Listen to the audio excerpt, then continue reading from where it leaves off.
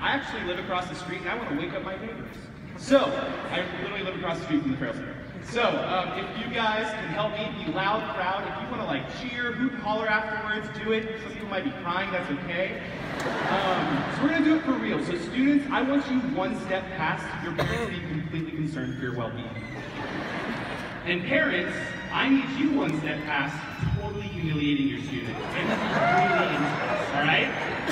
And students for real, I need Bruiser and Marigold to come up and join me. Let's do this. So give hand.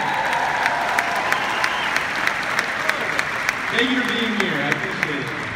All right, remember, remember the mentality. Remember the form. Technique is important. You guys ready? All right, let's do this.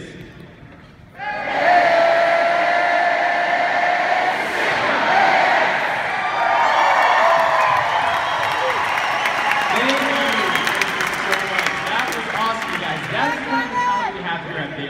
We're so proud and so excited that you guys are here. And as Jessica said earlier, some of y'all, your story can start today with Baylor, and we're so excited you're here. So we want to show you a little bit of a video that we have of what we're looking forward to with Baylor and our future as well. So check out our lights shine by lights shine.